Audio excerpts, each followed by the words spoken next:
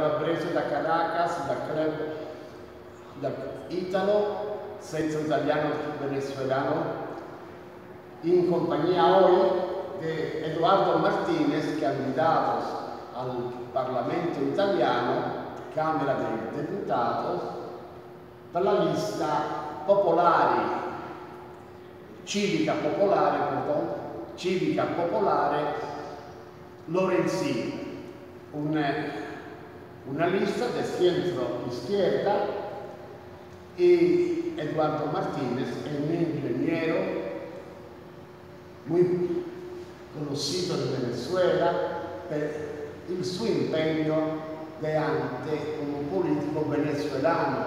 Él fue un dirigente del COPEI, el COPEI per los doctores que son de Venezuela y es como la democracia cristiana en Italia. Y ahora se lanzó en esta aventura como diputato per la Italia nelle prossime elezioni del 4 de marzo, que aquí, recuerdo a todos, que aquí se vota entro el primero de marzo. Eduardo Martínez, buen día. ¿Qué cosa te hacer al Parlamento italiano? El Parlamento italiano, en esta nueva legislatura, debemos de lograr, pero la gente de América del Sur, tres cosas. Uno, porque son problemas comunes en toda Latinoamérica. Lo que pasa es que en algunos países como Venezuela es más crítico, pero tenemos los mismos inconvenientes porque hemos tenido las mismas crisis una y otra vez, una y otra vez. Tenemos que resolver el problema de los consulados. Se tarda muchísimo para los trámites, es un problema, no se dan citas. Es imposible, es increíble que un italiano tenga que tener más de un año a la espera de poder renovar el pasaporte, mientras que un turista llega y en pocos días le dan la visa para ir a Italia. Eso no tiene sentido. La segunda cosa es el tema de las pensiones y las ayudas económicas para los más necesitados. La manera en que viene interactuando el Estado italiano con los inmigrantes italianos que viven en Sudamérica es equivocada. La ayuda no llega a quien tiene que llegar, nadie sabe a quién le llega la ayuda y los trámites de las pensiones muchas veces hay que hacerlo a través de terceras personas y de gestores. Y la tercera, que es una cuestión muy grave, la lengua, una lengua para un país es el, el centro, lo que une a ese país, lo que une a la gente de ese país. Y en América del Sur y en todo el mundo probablemente el italiano inmigrante con la ciudadanía italiana, sus hijos y sus nietos no hablan italiano, por lo que se debe hacer un empeño en que esos ciudadanos italianos hablen el, hablen el idioma que es lo que une a un país. Esos son mis tres propósitos de ir a Montecitorio. En el caso específico venezolano, tenemos dos problemas adicionales. La situación de los italianos económica y socialmente es muy grave por el descalabro económico que sufre el país. Y lo segundo es que Venezuela va a necesitar ayuda humanitaria. En la medida en que Venezuela esté mejor, los italianos que viven en Venezuela estarán mejor. Esos son tres propósitos que me animan a ir al Parlamento italiano. Lograr que los ítalos venezolanos y los ítalos latinoamericanos tengan los mismos derechos que tienen los italianos en Italia los inmigrantes, emigrantes, perdón, italianos, esos italianos que viven fuera de Italia deben de tener los mismos derechos. Y nosotros, italianos que vivimos fuera de Italia, no somos extracomunitarios, somos italianos. Eso, es un punto muy importante que quiero que tú lo extendas bien. Los italianos de Venezuela son italianos a todo lo efecto porque en Italia no se, no se esto, esto problema. Probablemente, probablemente, perdón, en Italia lo, lo conciben así, pero el italiano que vive en Venezuela, su conexión o su única conexión con Italia es el consulado. Y en el consulado siente que lo tratan muy mal, porque no puede renovar el pasaporte tiempo, porque los trámites tardan meses en que tú logres conseguir una cita para poder hacer el trámite en verdad. Y cuando vas, la gente siente que el trato que le dan no es bueno, no lo tratan con cariño. Muchos italianos ni siquiera están inscritos a votar porque aborrecen cómo lo han tratado los consulados. Y entonces decidieron que sí, que tienen el pasaporte italiano y que lo único que hacen es ir a renovar el pasaporte e ir a registrar a los hijos y luego a los nietos como ciudadanos italianos. Pero ese trámite es muy engorroso y lo tratan muy mal. Entonces no hace vida política, no vota, no está inscrito para votar. Venezuela es un país que debe tener en el entorno de los 600.000 italianos viviendo aquí. Pero registrados para votar solo tiene 85.000 y debieran de ser dos o tres veces esa cantidad por las edades. Y la gente no se siente cómodo y su manera de protestar es no votar. Y luego de los 85.000 inscritos votan 25 no vota más que eso. Regreso un poquito en el político.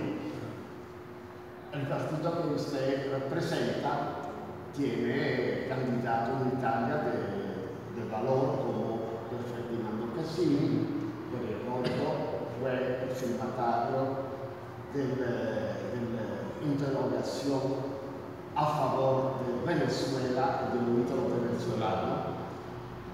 Tiene Renata bueno. bueno che mi possa in prima persona constatare su impegno a favore del venezuelano e dell'intero venezuelano.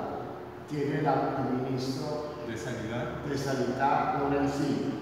¿Usted cómo se coloca con este partido y con su ¿Cómo me encuentro? Sí. Bueno, es muy sencillo. Los valores fundamentales de la, de la alianza de Cívica Popular son de un catolicismo laico no confesional, con los principios y valores del humanismo cristiano y de la doctrina social de la Iglesia, reformista en cuanto a lo que hay que cambiar y europeísta. Yo comulgo completamente con esa visión de la vida en Italia, de la vida política. Soy social cristiano, soy democristiano, como lo son ellos porque coincidimos en esos valores y en esos principios. Se nos ha dicho que somos de centro izquierda, centro cinismo, pero para los católicos que hacemos política, nosotros no nos consideramos ni de derecha ni de izquierda. Nosotros tenemos valores y respondemos a esos valores que son los valores fundamentales de la civilización occidental.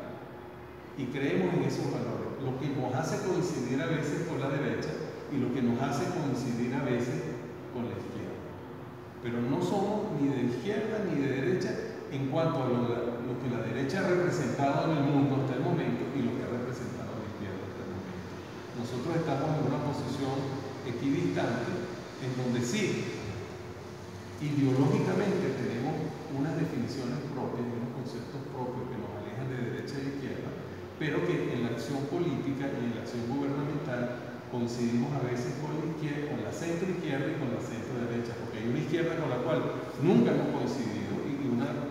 con la derecha que tampoco hemos coincidido, que la gente generalmente llama las posiciones extremas, de una y otra. Por eso no me fue difícil incorporarme junto con ellos, porque tenemos en la vista lo que vemos a largo plazo y lo que queremos para Italia es lo mismo. Un'ultima pregunta riguardo. Hace un appello all'italo venezuelano, italiani del Venezuela, a poco días dalla serra del voto perché devono votare un italo venezuelano nel Parlamento italiano.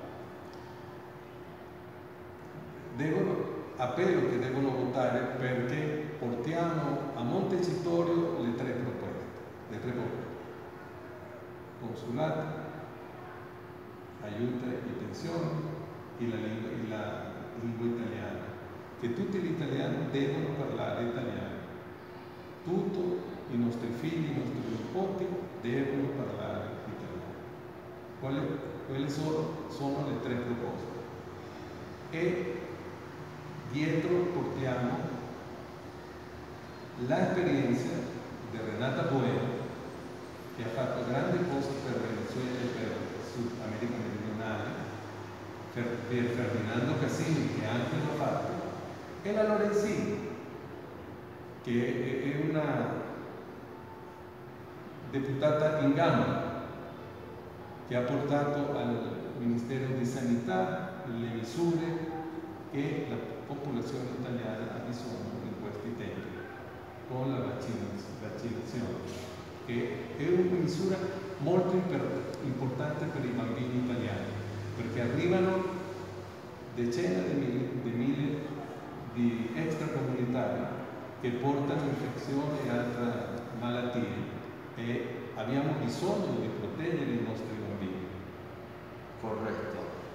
Y este, ringrazio di corazón. Saluto col lettore di Agora Magazine, Umberto Calabrese da Caracas. Hasta luego.